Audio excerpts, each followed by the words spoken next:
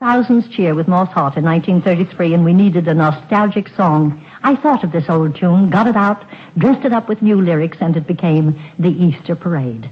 The melody the critics thought was a dog in 1917 became a bestseller in 33, which proved to me that unless the lyrics match the tune, you haven't got a marriage. The Ty Powers expect an addition to their family, and they hope to be home from London by the middle of June.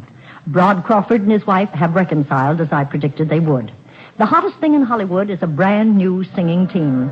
Two boys who, believe it or not, are making their first professional appearance right at the very top at our world famous Mocambo. And to say that they've made the biggest hit of the year is an understatement. You know, I was there opening night. Their names, Charles Durand and Guy Brion. Two fellows from Honolulu. One American Hawaiian and the other American Japanese Hawaiian. It won't be long before their voices will be known all over the nation. So I got them to sing tonight their very first time on the air.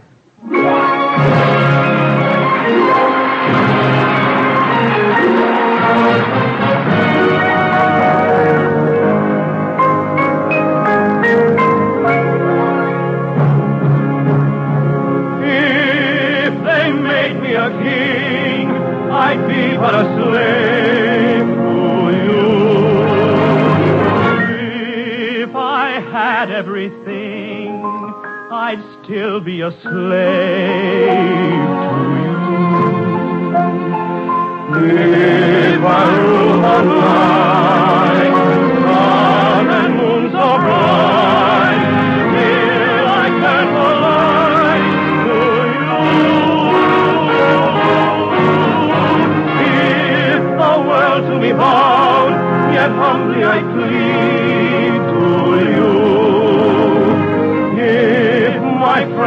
Crowd, I'd turn in my knees to you.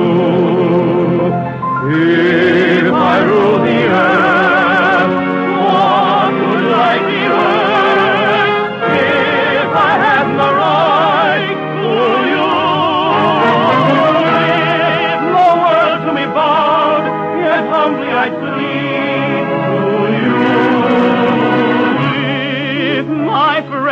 a crowd, I'd turn in my need to you. If I ruled the earth,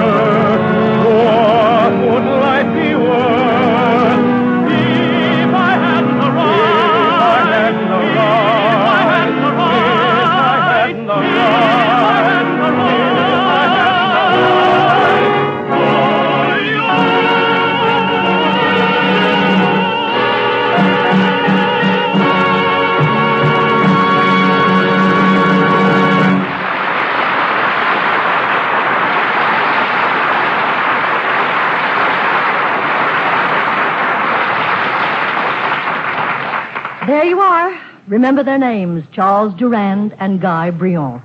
And after they leave the Mocambo, the Desert Inn at Las Vegas, then San Francisco. Background shots for Danny Kaye's picture on the Riviera were shot on the Riviera by a Hollywood camera crew. But they got some bathing beauties in those postage stamp suits which didn't pass the Breen office. So those scenes were reshot in California. And incidentally, Danny will be on this show next week. Everett Crosby called his brother Bing from New York with an offer, the largest sum ever offered anyone for one television show. And you know what Bing said? Try me again in 1955. Kirk Douglas leaves for Palm Beach with Irene Wrightsman to visit her parents, and from there they'll hop to Cuba, and I'll bet a cookie it will turn into a honeymoon trip. The other night I asked our most distinguished actress this question. When should an actress retire? When she dies, Hedda. Ethel Barrymore.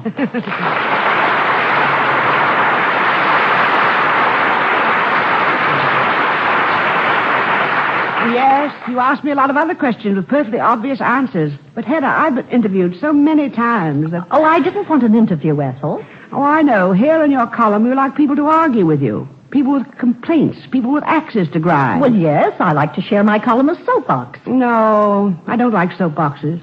I have no problems. I know that surprises and problems are what make news, but I haven't any. Isn't it sad? I love Hollywood and I love making pictures. I know you've just finished two of your best, Kind Lady from Metro and The Secret of Convict Lake at 20th Century Fox. Yes, I'm all settled down in a lovely house. But wait a minute, that's my point, too. No news is good news. The item I want from you, Ethel, is something that expresses just that. Everyone's desire for contentment, peace, and a place to settle down in. It's a poem you read to me once called An Old Woman of the Roads. Oh, Remember? Oh, yes. I know. I love it. It's by that Irish poet, Padraig Colum. Here it is, Hedda. Oh, to have a little house, to own the hearth and stool and all, the heaped up sods upon the fire, the pile of turf against the wall, to have a clock with weights and chains and pendulums swinging up and down, a dresser filled with shining delf, speckled in white and blue and brown. I could be busy all the day, clearing and sweeping hearth and floor, and fixing on their shelf again my white and blue and speckled store. I could be quiet there at night beside the fire and by myself, sure of a bed and loath to leave the ticking clock and the shining delf. Ah, but I'm weary of mist and dark and roads where there's never a house, nor bush. And tired I am of bog and road and the crying wind and the lonesome hush. And I am praying to God on high, and I'm praying him night and day for a little house, a house of my own, out of the winds and the rain's way.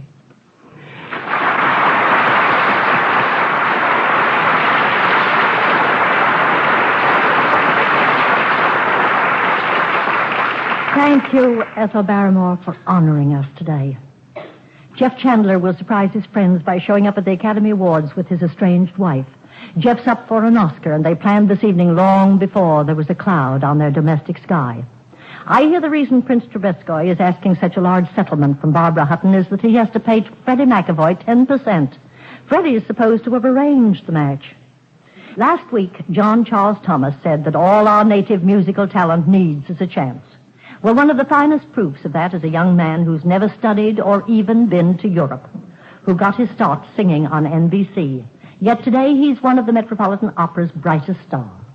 Yes, he's Robert Merrill, and makes Hollywood news this week by starting to work on his very first movie. It's for Paramount, and it's got quite a handle. Aaron Slick from Pumpkin Creek. With Dinah Shore, Alan Young, and you as a slippery character from the big town with larceny in your heart. And a yen for Dinah. Hedda, let me tell you about some of the romantic songs Dinah and I. Robert, I hope you'll sing some operatic numbers. And I have some of the choicest laugh lines. Listen to this one. You know, you sing opera so beautifully. And if you want to hear some of the romantic moments in which I. After all, so few people can really do justice to opera. Um, yes, ma'am.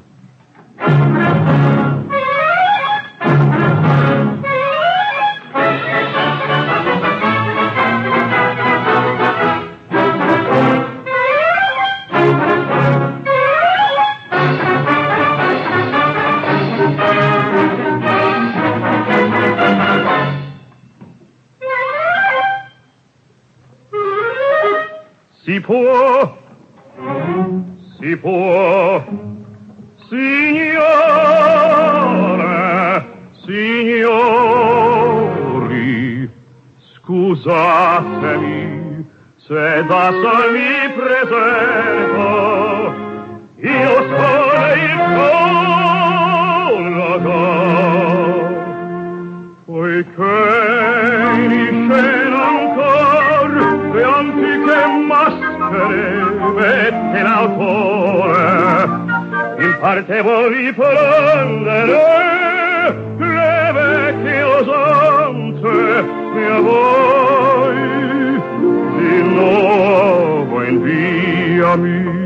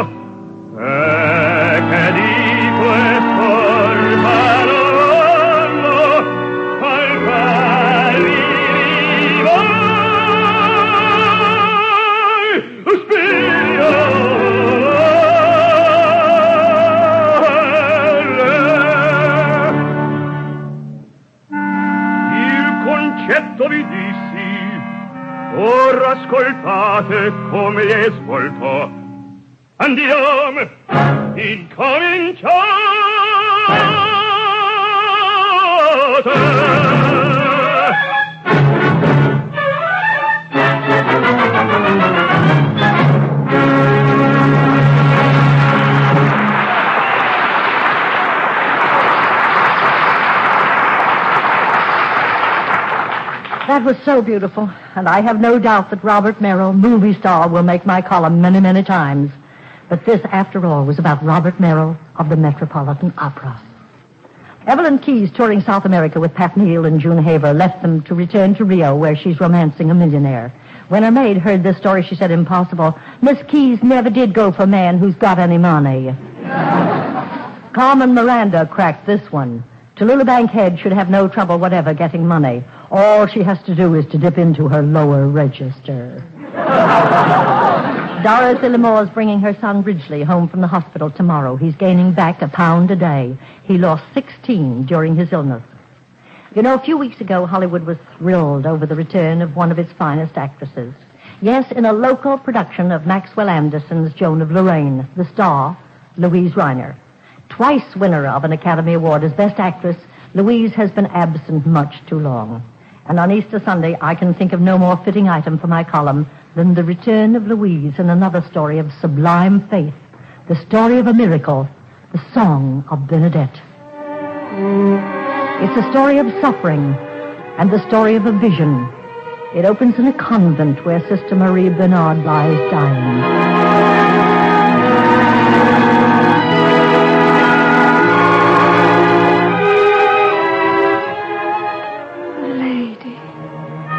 Did see her. She was dressed in white with a blue garter and a golden rose on each foot. How is she feeling today, sister?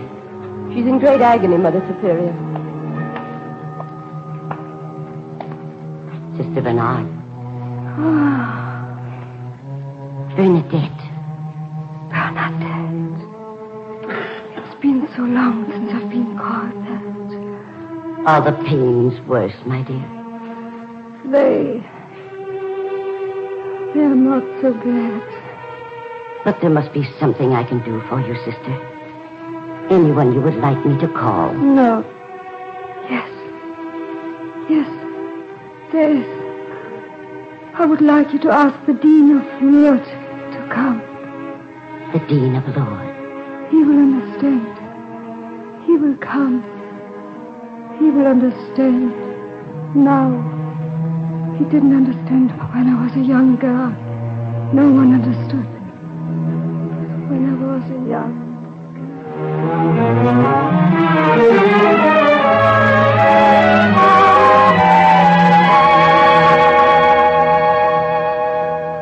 Your Reverence, she was dressed in white with a blue girdle and a golden rose on each foot. I saw her. I did. Do your parents believe this story of yours? No, Your Reverence. I don't think they do. If your lady were real, wouldn't other people see her too? I don't see why they can't. She's there. She speaks to me. And what does she say? I saw her again today. That's why I came to you, Your Reverence. The lady said, please go to the priest and tell them that a chapel is to be built here. Let processions come hither. Chapel, processions. Do you think tomorrow would be soon enough for your lady?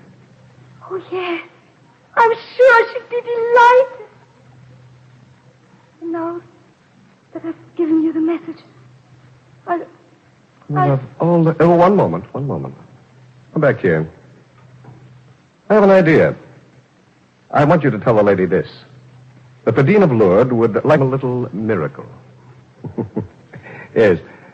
I think that will take care of it. A miracle.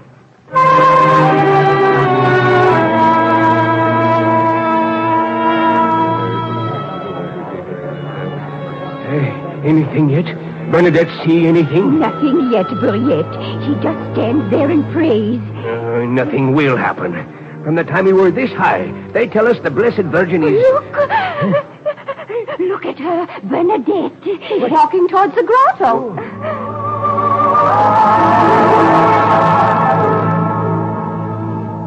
To the spring. What did you say?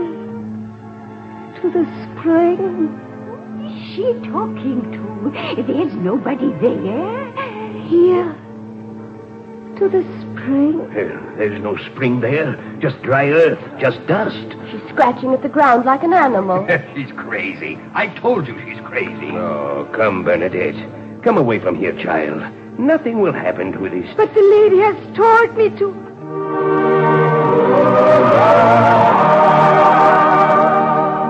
Look, look. Water. It came from out of nowhere, out of the dust. There's a trickle of water. She told me. The lady told me. Bernadette, what are you doing? My eyes, get away from me. I'm bathing them. My eyes. Ah, ah, I can see. When I do, I see. I'm blind. You know that. But look, I can see.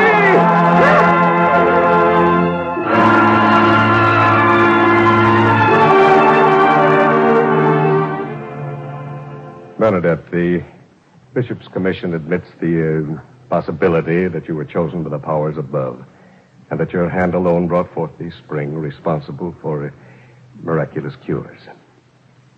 Well, if they should find these things to be true, then the greatest and wisest men of the church will be watching you for decades. Oh, that's terrible. It can't be. I don't want it. Uh, it's no small matter, but you must face it. Bernadette, did you imagine yourself as part of the church someday? As a nun? As a nun? Oh, Lord, no. That's far above me. I just want to go back and, and work for Madame Millet as a housemaid. Please. No, no, my dear child.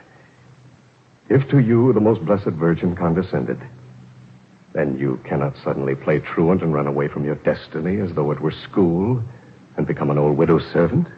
No. No, maybe not. If chose you, I am afraid there's nothing left for you but to choose heaven. Isn't that true? Yes. I guess so.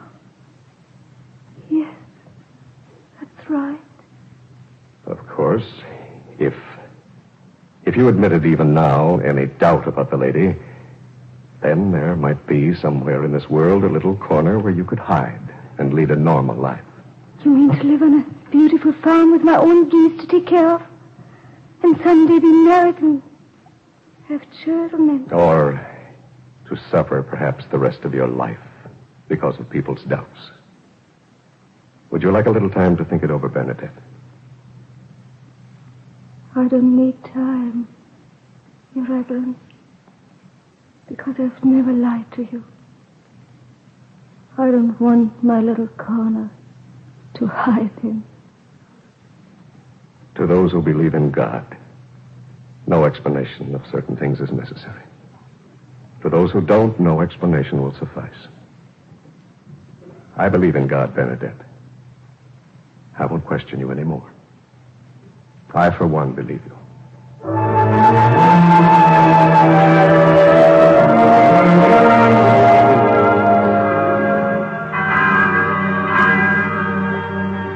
She's sinking fast, Your Reverence. I got here as fast as I could, Mother Superior.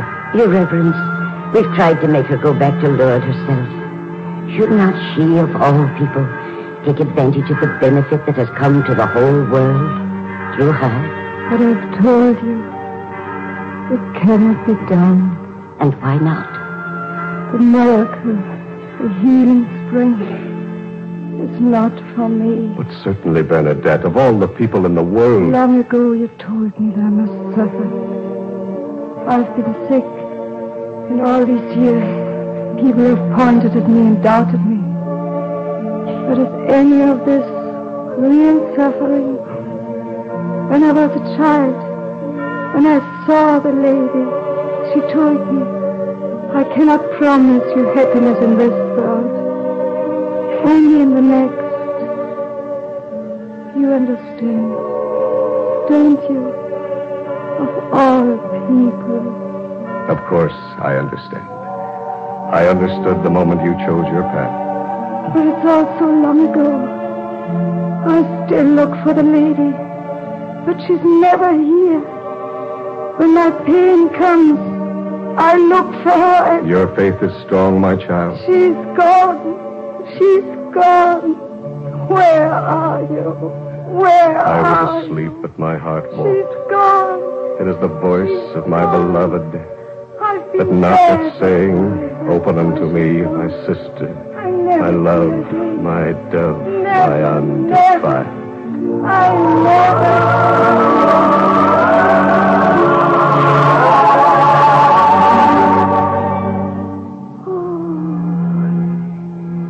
My lady, I can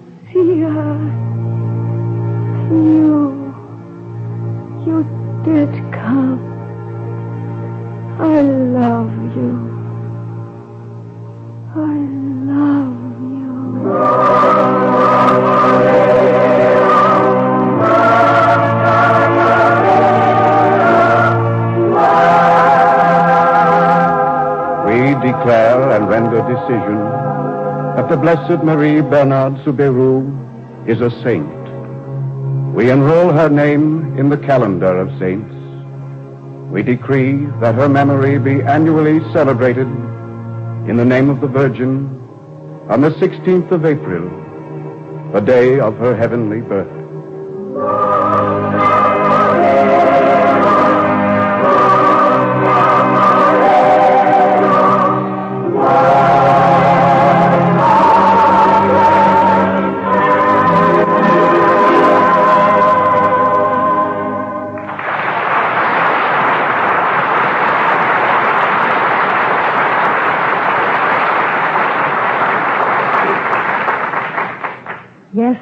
Easter's here again, and I'd like to tell about the Easter I remember best, the last one I spent with my mother. She came to California the last time for her 85th birthday, and for Easter, instead of a cathedral church or a sunrise service, we chose to go to Yucca Loma. On the night before and on Easter morning, watch the great Mojave Desert unfold its brilliance under the rays of the rising sun. We rose early and went out upon the desert, which at midday is a barren waste, but which at sunrise has such majestic brilliance as no human hand could ever duplicate. With the Joshua trees standing guard, suddenly, as if ushered in by a heavenly choir, an overwhelming panorama of beauty burst upon us.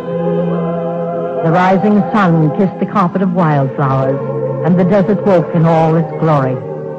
It was a symphony of nature, God's handiwork. My mother gazed a while and said, This is lovely, but I miss my church back home. I replied, Mother, look about you. These desert flowers, blended as only nature can, the Joshua trees, the fragrance, the pastel sky. To me, it's much more beautiful than any church or cathedral built by human hands. She was silent and then softly said, I never thought of it like that before. And down on her knees she went and prayed to her God, and mine, and yours.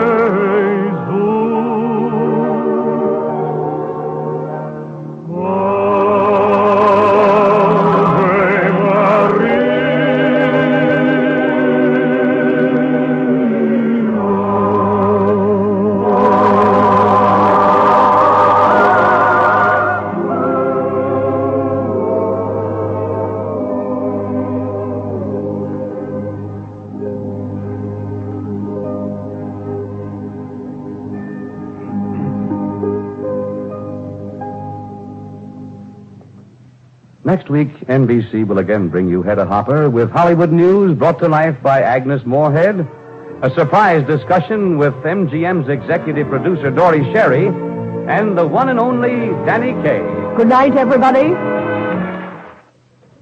This program is transcribed. Three chimes mean good times on NBC. Theater Guild on the Air presents next Douglas Fairbanks in A Tale of Two Cities. Also this evening on NBC, Joel McRae stars in the exciting Tales of the Texas Rangers. Now hear A Tale of Two Cities. It's Theater Guild on NBC.